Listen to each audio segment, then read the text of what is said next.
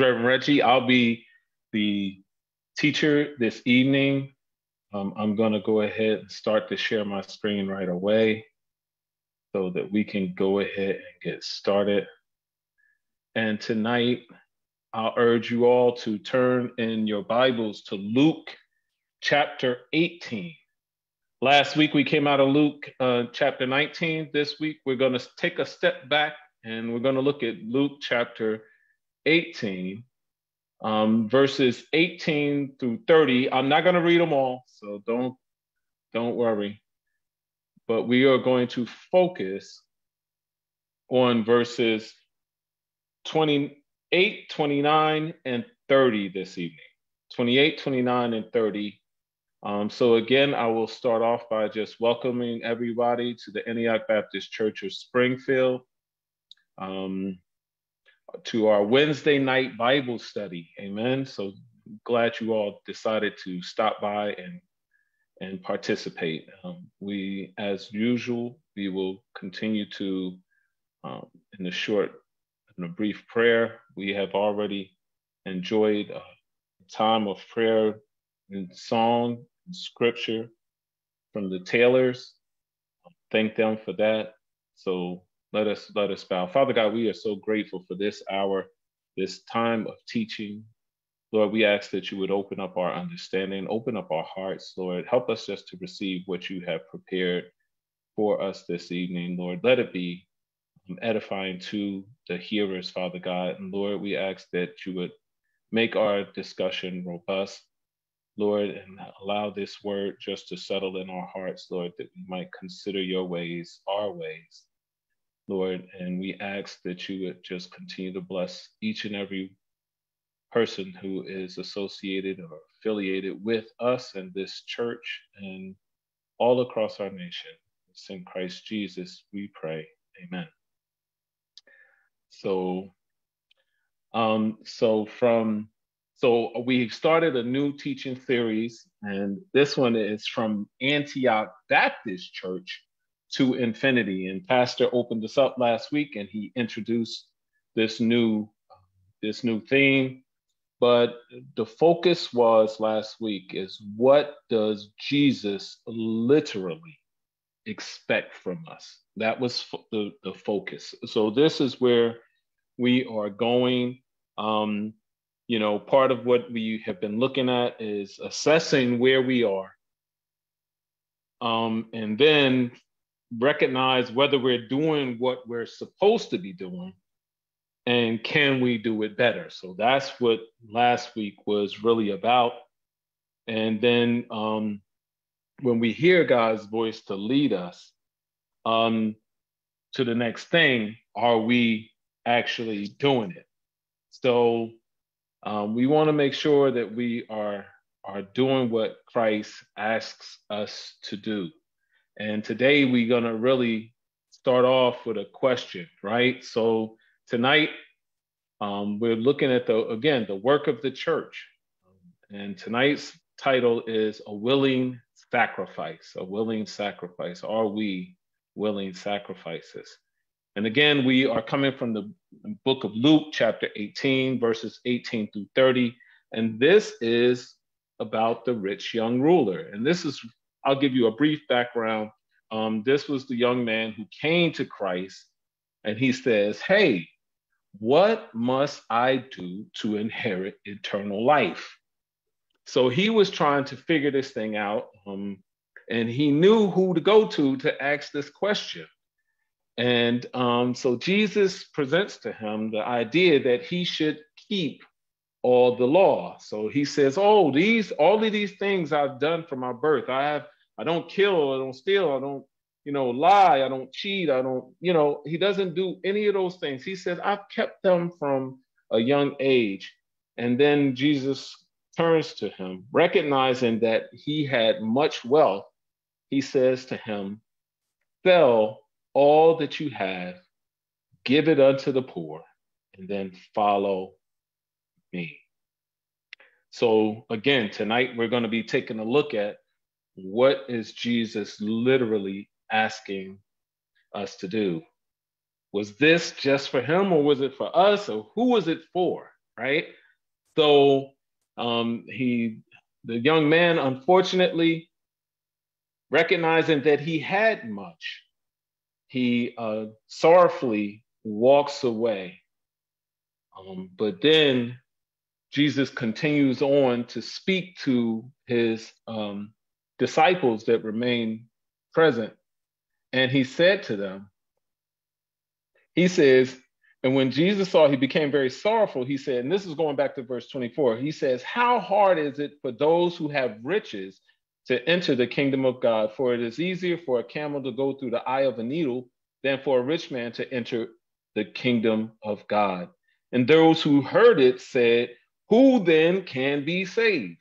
But he said, These things are impossible with men. He says, the, thing, the things which are impossible with men are possible with God. So then he talks about a reward for self sacrifice. And then these are the verses that we're going to focus on today. Then Peter said, Remember, he was the, the disciples were among them at this time when this young man came, and he wanted to be a disciple, but he didn't want to part with his wealth or his riches. He Peter said, See, we have left all and followed you. Now, when all the disciples, of course, when we read through the, the Gospels and the account of Christ, and when he called all of them, he just simply told them, Follow me. They dropped everything, including their, their livelihoods, and they followed Christ. Um, so Peter is reminding Jesus that that's exactly what they had done.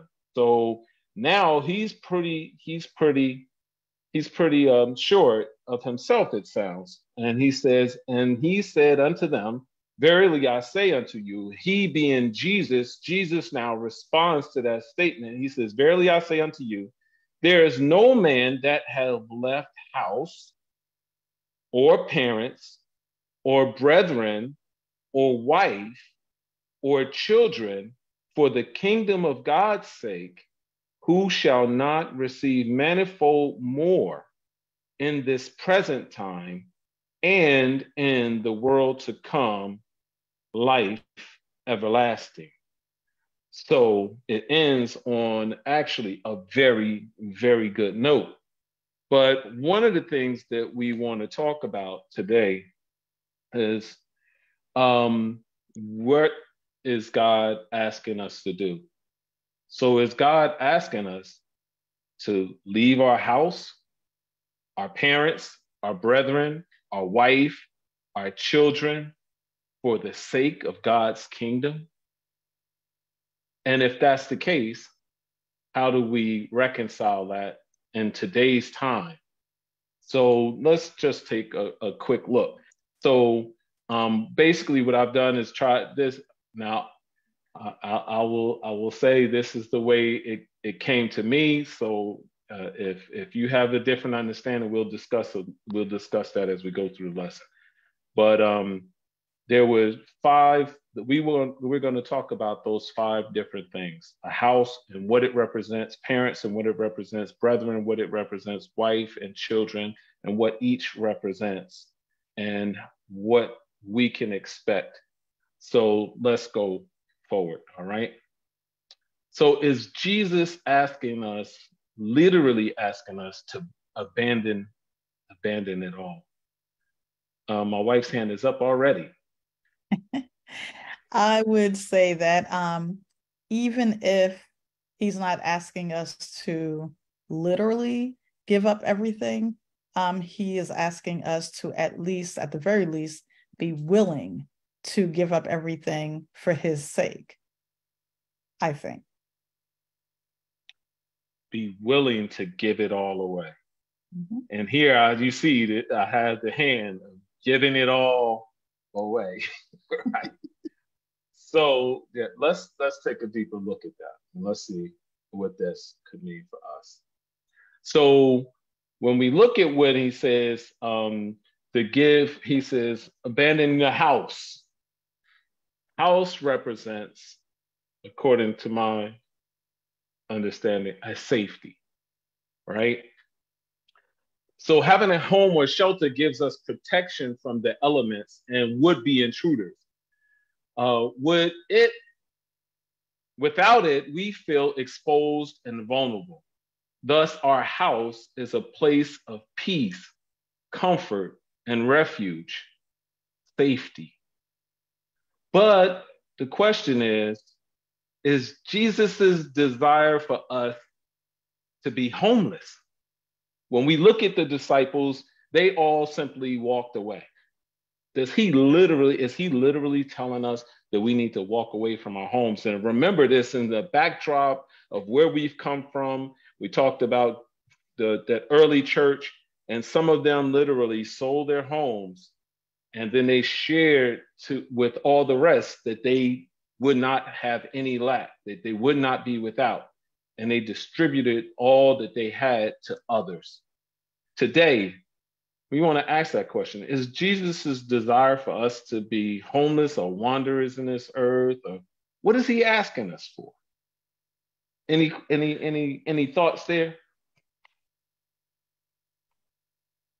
Because ultimately it's the it's the safety issue, right? Go ahead, my wife. Oh. um, I would again just say that um, he probably wants us to be willing to give these things up. And if we are in a position to help someone else, um, even in a way that we may feel maybe um, kind of detrimental to ourselves, that we should be willing to go the extra mile to help that other person as well. And that's what the early church did. They gave up their earthly possessions just to be a help to the others who were in the faith. You know, and the difficulty is that once some of these things we do, like the rich ruler, we find security in, right? We find assurance in. And this is some of the things, this, so this is where sometimes the challenge comes in. Now, is he literally asking us to, to give up our home? If we, when we compare scripture, we have to remain constant in scripture to make sure that we compare scripture to scripture. Jesus doesn't say anything that contradicts himself. The scripture doesn't contradict itself. So we have to look at it in totality. So in this case, is is is that what he's asking of us today? Um, so I see another hand is raised. Deacon. Yeah. Hi. Um, okay, Sister Carol. Um, if anything gets in the way of us ultimately doing the will of God, then we have to lay, basically, I know it's not saying lay it aside, because he said that he would supply all of our needs according to his riches and glory through Christ Jesus. So, as you say, he doesn't contradict his word. But if your house is going to take precedence over uh, what he desires of us, then we have to we have to deny it until we get to the place where we are putting God first in all that we do. Right. And, so and I, again, the, the house in this case, to me, it represents a place of safety. Again, place of refuge. So when we look at, so when we look at some other scriptures, um, like uh, Psalm 91, verses 1 and 2, it says, Whoever dwells in the shelter of the Most High will rest in the shadow of the Almighty. He said, I will say to the Lord, He is my refuge and my fortress, my God in whom I trust.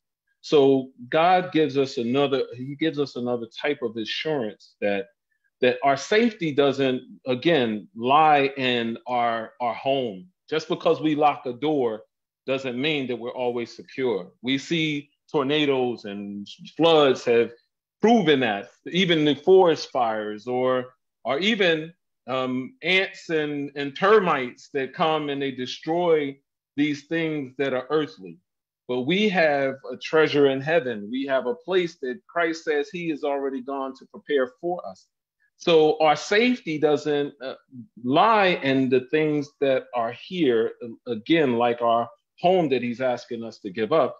These things lie in the fact that we can trust in God. So no, he's not calling us to, to necessarily give up our home. And for some, he may. The truth is, there's some that they get a message directly from the Lord, and he says, Go and be sojourners in this world, that you're going to start a mission, and that's what your life is going to be. And he calls them out of the, the safety of their home or whatever we we see, and they and they travel the earth and they're calling souls to discipleship, you know, calling people to salvation. So um, in Psalm in Psalm 4 and 8, he says, In peace I will lie down and sleep. For you, you alone, Lord, make me dwell in safety. So we know that we can find safety in Christ Jesus. We can find safety in God. And it just doesn't always depend on us finding safety in the things that are, are more natural to us. Um, let's let's move on. Um, our parents, does he says, or parents for those who have given up their parents. So do, what is what is he saying here? So what I see parents as a form of security. Like like money, parents offer us a reasonable amount of security. Again, when we think about this in context of the rich young ruler, this young man, he put his trust in money. And he couldn't easily walk away from it because he had a lot of it. and that can be troublesome for us when we when we put all of our security in the things again that are of this world that will perish. Uh, I wrote primarily all our needs are met by our parents. Food, clothing, and shelter are generally provided by them. As a result, we depend on them for our sustenance and trust them with our lives. They also tend to love us more than anyone else, even if we uh, are, are, are, are not a, a, a cool kid. I always say, good children make good parents, right? Um, which gives us further assurance. But um, but the question is, does Jesus want me to forsake my parents? Is he telling me this to turn away? And we see in cases where Jesus says, don't even, don't even go back. Don't, don't, you know, let the dead bury the dead. My, I want to say goodbye to my parents. He said, no, no, let's, let's cut and go. We got some business to take care of. But today, is that what he's calling us for? Again, we find security in those who are our provider. But one of the things, Deacon Taylor? Hello? Yes, we hear you. Oh, okay. I didn't know if but if we're didn't they say that the children should honor their mother and father? Amen. So are we creating a contradiction if we think that? Right. So yeah, again, and when we when we listen to that, is it dishonoring them to to abandon them? Now, th- I think when we think about it, the expectation is that one day we are going to leave our parents. We can't stay home forever. So we have to step, be able to step out. And one day we will breach the doors of the house and go out on our own prayerfully if the parents don't kick us out like the little birds in the nest. Sometimes um, you gotta push them out. Sometimes you gotta push them out. Because again, that's where we find security. And in finding our security in um, our parents, sometimes we don't want to break away from them. But you know, God says He offers us um, security in all of our needs that are met through Him. Um, Matthew 6 and 33 says, Seek first the kingdom and His righteousness, and all these things will be added unto you. So the, all of the things that are needful for the body, for our sustenance, God says, all you have to do is first, you have to seek me. Seek me, and I will provide all of those things for you. Um, Psalm 23 and 1 we is one of my favorite scriptures. He says, The Lord is my shepherd, I shall not want. As long as we are led by God, by Christ Himself, if we are led by God, then He's going to lead us to those still waters, those green pastures. He's going to um, provide the security that we need. All of our needs are going to be met by him, right? And and more famously is uh, Hebrews 13, 5, the um, B, I would say, the second half. He says, be content with such things as ye have. For he has said, I will never leave thee or forsake thee. So we we we have to understand that God is our provider. All good and perfect gifts come from above. That we can find security in him. You know, and we don't have so so these this what I believe it, it, the, those parents are representing what we're walking, you know, away from. Um, next, our brethren, which represents our friendships or relationships, also our identity. Um, so, um, what I wrote is being a loner is generally regarded as odd. You know, our natural tendency is to see how or where we fit in. Having a friend or friends offers us a sense of belonging and communal standing. Sometimes we place great value on these relationships because without others, we feel lost or alone because our identity is often tied to these relationships. So, just even like with our, our, our, our mother and father, again, it's eventually expected that we're going to break apart from them. But then we have other relationships which might be long lasting. Our brethren could literally be our brother or our sister, you know. Um, but um, it also could mean those who are in our community, our friends, those we've grown up with. But they offer us a sense, sometimes we get a sense of who we are as being a part of a larger group. But here we have to ask the question.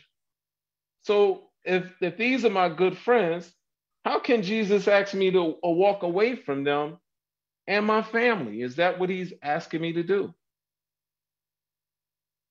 Do you think that's what he's asking us to do? Just simply just walk away from those family and those friends. Actually, in some cases, he actually is. we know that the Bible teaches us that uh, in 1 Corinthians 5, 15 and 33, it says, evil communication corrupts good character. So sometimes we we literally do have to step away, and we know that Christ is is enmity, has enmity with the world. There's no identification with Christ in the world. The, the world hated Christ, so therefore it's going to hate us. And generally, as people who are believers, if we are true believers, it, especially if our friends and our family are not, then sometimes we can be called to step away from them. In Second Corinthians 6 and 14, it says that we shouldn't be unequally yoked. Light and darkness have no fellowship. So we have to, as, as new believers in Christ, our faith should drive us to either become part of a fellowship that we're other believers, or perhaps we might have to step away from our, our family or friends who may not believe the way that God is um, prescribing. Deacon Gordon? Yeah, I, I, I was just going to say sometimes uh, people in your life are there just for a season, okay? They're not there forever. Uh, some they, they, you know, you can learn some things from it, and there come a point where you may grow into different directions. I should say, you know. Mm. So that case, you have to walk away. Right you know and it, and sometimes these things can be extremely difficult for us. They can be difficult for us because again um, we value relationship. Again we you know we might we might feel um, out of place when we are not um, in that in that group with our our associates mm-hmm. um, our comrades. Uh, alicia but what about someone who might say, What hope is there for my family and my friends if I have to separate from them and then I don't have the opportunity to um, you know, give them the good news and witness to them and share my testimony with them if I'm separate from them. Right. Well, absolutely. I would say, I would say definitely we always have to be the light in the earth that, that Christ has put us here to be. He says we don't hide our light. Um, so we want to make sure we continue to do the good that He's placed us here to do. We want to reach out to others. We always want to make sure that we are actually forwarding the gospel. You know, these are part of the, the, the literal things like we're talking about that God is asking us to do. You know, I mean, for us though, we, you know, all all of those old things have passed away. Behold, all things have become new. We are new creatures in Christ, and we do have to sometimes separate. You know, at the same time, we do he he he gives us a we, we we're given a new hope a, a new spirit of adoption that we're going to be drawn into a new family with him you know ephesians 1 and 5 says he has chosen us you know predestined us unto the adoption of children with christ jesus. So we become joint heirs with his son. So now we're adopted into a new family. So we have a still have a sense of belonging. We don't feel like we're we're out there on our own. We're not alone in this world. But god instead he is prepared he is prepared to bring us into the fold. Um, that's why even as when we when we look at the law and those who were um, the chosen you know we we can we as gentiles can can feel uh, very good and secure about the fact that now we are um, as as part of God's family. You know, so we we we are not cast away. We're not we're not um, by simply again by ourselves, and we have a new identity, a new identity in Christ Jesus, and He is constantly forming us and shaping us, and through and the Word is constantly um, working on us. All right. So so um, I do see in the chat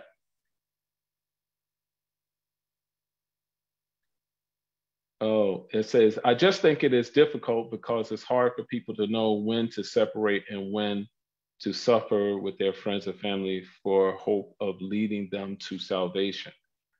Absolutely. Um, you know, unfortunately, um, there's there's some that that won't that won't bear to hear the word, and that'll that'll just be, you know, the truth. I mean, and it's kind of sad to say, but um, it's like they're to put stoppers in their ears, so to speak. You know, they don't want to hear that word. So, but then he says, he goes on, he says, the wife or wife. Um, and since again, he's talking to his disciples, and we know Peter himself had a wife because they talked about Jesus healing the mother-in-law, right? So we know he he he is taking a sabbatical from his wife you know, and we find that love is the most coveted human emotion. You know, um, presumably we all long for something to care deeply about and will search years or even a lifetime looking for it. And finding a wife, a good thing, a man has finally discovered that passion and completed the hunt. But what what it really is is he's telling us to perhaps that there's times we're going to have to walk away from the things that we love. So, could Jesus really be asking us to give up on love's pursuit? And we can love a lot of things. In this case, again, looking back at the rich young ruler, we know that the love of money is the root of all evil. This guy, he cherished his money more than he cherished everlasting life. This is what he went to Christ looking for. It was more valuable for him to keep the things that were earthly than to find what was not perishable, what was going to be eternal. He decided that it was better for him to maintain what he already had than to follow Christ, to give it all away and just follow. And sometimes for us, there are other pursuits that we have. Uh, we talked last week, and I and I one of the things I made in a comment was priority. What do we prioritize greater than God? You know, and when we do, do have pro- now, we all have responsibilities, and there are things that we do in our life that we love to do. My wife is a writer; she loves it. You know, I can, I, I, it's just oozing out her pores. You know, it's what she she was born to do. But should she love, should she love writing more than she loves Christ? What I see that she does, she segues, she put it all together. She writes about the love that she has for God. you know, she does all of these things. You know, she uses her gifts in in order to as an expression of that love. But when we that's but what happens when we walking away from that love that we have, are we to abandon that love? You know, um, but we we see that God says, you know what? But you wouldn't even know love if I hadn't first shown you love. So God is love, and we can learn that in First First John. God is love. Um, John 3:16, we, we recognize that God so loved the world that he gave his only begotten son. So God is saying, you know what? You're not, don't be afraid to step away to do the things that I've called you to do because you have a fear of loss of love. Because I am love, I'm the embodiment of love. He says, I've sent my son to sacrifice him and his life out of an act of love for you. And we know that even yet while we were sinners, God did what? He commended his love towards us that while we were yet sinners, he gave his son to die for us. So we find again, we find reassurance in the fact that God has sufficient love for us. And all of those things, um, um, um, Paul said he counted everything that he had done in the past. He counted it, all of those accolades, all those things of acclaim, he said, I counted all as dung for the sake that I should win Christ, that he should be, be Christ-like. So, I mean, sometimes it does, these things do come at somewhat of a sacrifice, but God is more than more than apt and prepared to substitute all of these things to give us every, everything that we need in the pursuit of what he's called us to do. And so this young man, unfortunately, he found more of a desire and love in his his his money. Um, and I know we're running close, and this is going to be one of our last slides. So then he says, and our children. And sometimes we can love our children we more than our parent, more than our wife. That's not the natural order things according to the scripture. Um, but our children represent our legacy, right? So as our legacy, we know that um, we have and and um, it's it's almost like a proof of our existence. Um, I hear this a lot from one of my sons. He just wants to make his mark on this earth. Um, for most children, their legacy there, for most, children is their legacy or mark on this earth. Having lots of children in many cultures is a sign of wealth and virility. Children, especially sons, establish or maintain our presence in the world by keeping our name and our memory alive. The truth is, it's, none of us really want to, you know, be eradicated from the world. We know that we all will have to die one day, but we want to have a legacy. You know, we want our name to be carried on in this in this earth. Um, Psalms uh, 127 and 3, it says, Behold, children are a gift from the Lord. So we know that our children are a gift from the Lord. And again, we want to make sure that we look at the scripture and compare. So would Christ tell us now that we shouldn't uh, take care of our children or we should abandon them? He says a man is considered worse than an infidel if he doesn't uh, care for his children, his family. Worse than an infidel, one who cheats and you know. So we we look at the scripture and we understand that should that um, our legacy is something that can be very important to us, and we can put we can put that sometimes above God. You know, so is he really telling us to walk away from our children? I don't believe so. He says, um, and in, and in, in effect, to establish good, a good name. He said, Proverbs 22 and 1, it says, a good name is to be more desired than great wealth. So God tells us, yeah, we should have a good name. He wants us to have both favor with God and men. He wants us to have favor between us both. However, he wants he's going to provide for us a legacy. Amen. He's going to um, provide us um, a place that is going to be everlasting. What the rich young ruler came to him to see or to gain really was that everlasting life. So God has given us, He gives us a promise to establish us an everlasting name. You know, He says our name, our mark, is going to be in our forehead. He's going to give us a, a, a name that is written in the Lamb's book of life. You know, and and nobody can er- erase that out but God. And if He's established it or written it, I'm sure, I don't know if he got to erase it. You know what I mean? If he put it there, I think it's going to stay. So, I mean, I, I pray that my name is written, your name is written, you know, and that's our true legacy. And our and another legacy is not just our children, but like my wife just questioned, you know, is all of those that we help disciple in this earth today.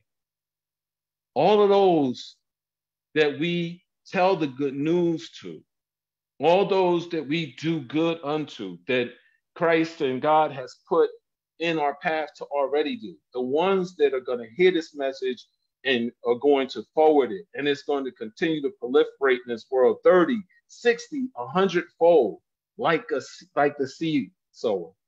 So we want to continue to plant in good ground, and we want our legacy to continue that you know, it's going to show in heaven our good works because one day that's going to be tallied up by God. He, our good works shall follow us in the everlasting. God is going to look at that and he's going to know what we've been laboring in in this earth. So we need to continue to hear his voice, to continue to do the things that he's called us to do and not and and ultimately ultimately have greater trust and greater faith in Him that whatever work that He started in us, that good work, that He will help to see it through to its completion. So, and, and one of the things that Pastor reminded us of last week is that it all still comes with a promise that, um, you know, there's there's there's going to be a reward. And so, what is the reward? in verse 30 again, I'll just re- reiterate it. He says, Who shall not receive, uh, who shall not receive manifold more in this present time? Today, he's, he's promising us today that we are going to receive much, much more um, than, what, than, than even what we're giving out. And in the world to come, life everlasting. That is the reward that is the promise that Christ has given us in this scripture. So again, I know I saw the time sign, and we want to be we want to be faithful in that. Um, I just thank you all. This this was kind of fun for me. Um, this is the way the Lord presented it to me, so I have to give it the way He gave it. I pray that it was a blessing to you all tonight, um, and uh, I will stop uh, sharing my screen just so we can each see each other. But I'm so uh, grateful for this opportunity just to come before you and, and teach this lesson. And I see you, Pastor. so um, um, I will go ahead and close with prayer. If there's any other comment.